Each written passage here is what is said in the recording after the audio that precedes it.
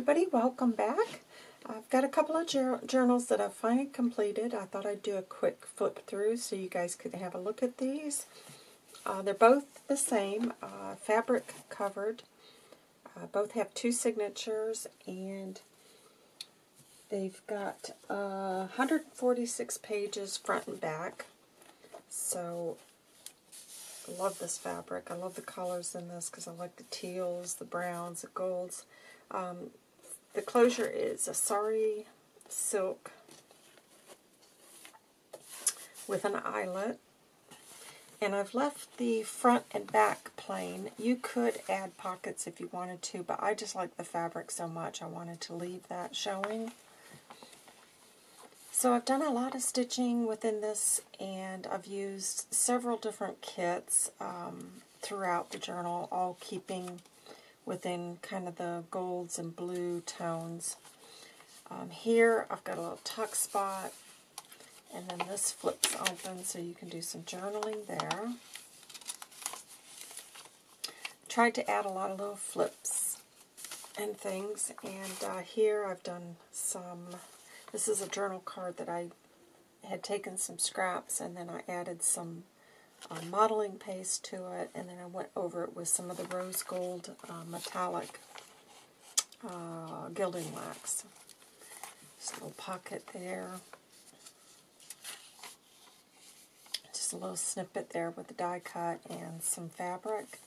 I've tried to add um, quite a few little tabs throughout and a little journal card there that I've stamped. Here I've got a little handmade tag, and then this was just some extra scraps that I stitched together just to make a little bit of extra writing space. And that's tucked in.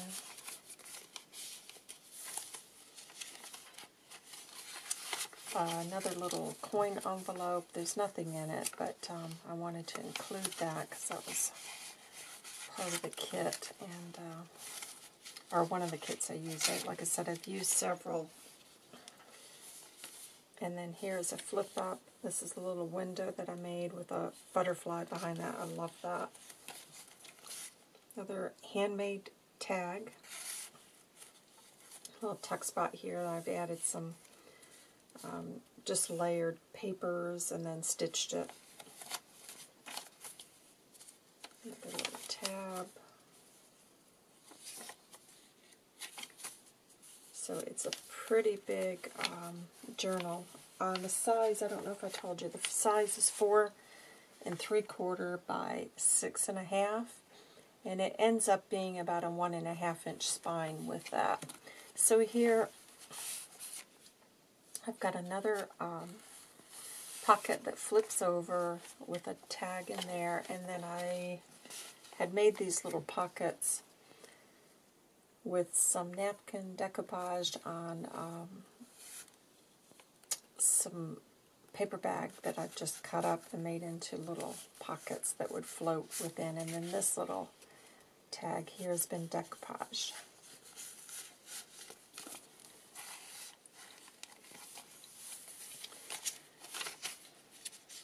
The papers are all tea-dyed within this journal. And then here, another little writing space, some collage there. And then I just got these in. Those are the um, the little coin protectors that uh, Wendy, at Wendy's Journaling Adventure, uh, is where I first saw it from. And I managed to get my hands on some. So I've just added a little butterfly so that you could have an image on be, um, both sides of that, and that's just been tucked into this little pocket. That was sewn on, and then another handmade tag.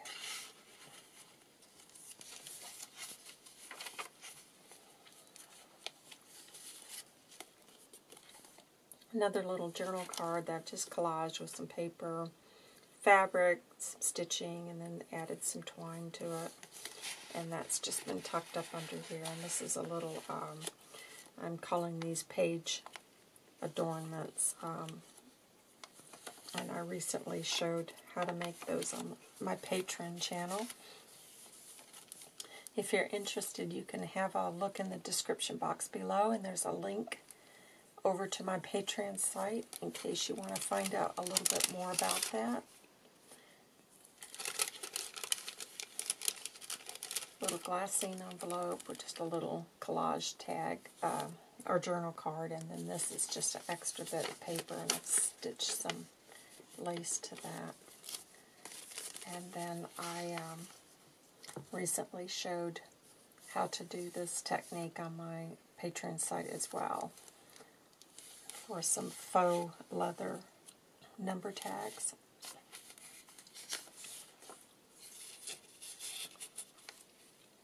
Another little tuck spot with a journaling card there. Another little snippet, some stitching. And then the little double coin envelope that I recently shared with you guys. And then I've included the, one of the window tags tucked in there. And then there's another pocket here as well that you could add something to.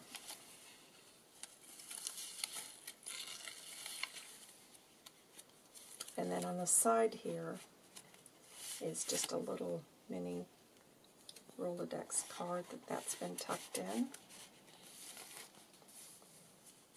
And then the second signature here, some stitching, little flip out here. And then here I've just made a specimen card and I've left it clear so that it would just, you could still see the print, you know, when it's here, but that slides out. And then this is a double pocket here out of a book page, so you can add something there as well. And then I put a little tag in there. I'm sorry, guys, if I'm not talking very loud today. I'm having a lot of problems with my um, throat at the moment. Um, another little bingo card that's stitched around, and then there's a little tuck spot there and a tuck spot here. And then I recently did a video for this uh, journal card. So you can check through my tutorials and that shows how to make that. So yeah, I'm, I'm trying to not put much strain on my voice at the moment. so I'm hoping you guys will all be able to hear me. okay, I know a lot of people say I, I speak very low as, you know, even when I'm not having issues, but at the moment, yeah, my ears are, um, I think I've got a sinus infection because um, we had had um, some uh, damp and um, and things going on, and I think it's affected my uh, sinus tract. But here I've just made a little pocket and stitched that over some fabric. And then this was a um, little ATC card I made recently. And just another little bit my stash. my stash is finally getting depleted to the point I think I'm going to need to um, to sit down and do some printing very soon once I decide what my next project's going to be. Here I've added a little bulb pin with a charm and a, a bit of lace there to that tab. And then this is another pocket. Uh, that should have had a um, journal card put in there. I will do that. In fact, let me just put something on here so that I know to do that. Um, and I recently showed how to make these as well, so if you're interested, like I said, just check the tutorial playlist. Um, did a little page adornment there. And then on this page, I've done another little long pocket with a tag, some more stitching, and then this was some of the, um, I had some envelopes left over and I just Mod Podged them and made them into long pockets. And then this is just some collage tags that I recently made. I stamped, stitched it. And another little fabric ruffle. And then here Got some more stitching on that page, and then I did another little handmade uh, journal card there. And that's just been clipped in. Another little snippet here. Journal card and a tuck spot on that page. Another little tuck spot here and a journal card. Love how that's come out.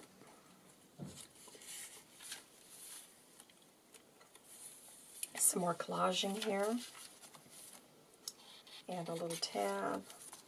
And then this is what I call the um, Angela pocket. Um, Angela showed how to um, make this, but was inspired by Judith, so it's kind of like my Angela Judith pocket. And I've got a little, um, this flips up so you can do some private writing there. And then this flips open, and within you've got another writing space here, and all of this can be written on. And then you've got another pocket on the very back. So, thank you, uh, ladies, Judith and Angela, for sharing that. Another little snippet here. And then I've done another window pocket here with another tag in the back. So, so there you have it, guys. That is the journals. I've named these Live in the Moment, and I've got two that are available in the shop. So if you're interested, just check the link below to my shop. And um, I'll be back very soon, guys. I've got some projects to share with you very soon. So I hope everybody's staying safe and well. And I'll be back soon. Bye.